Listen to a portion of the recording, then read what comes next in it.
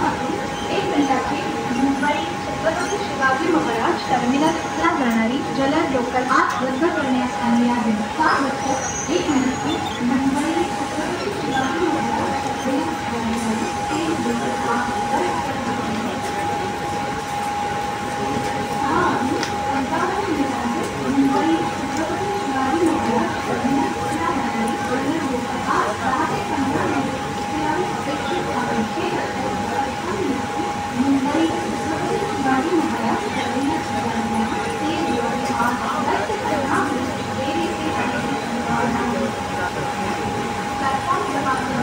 Alle Influencer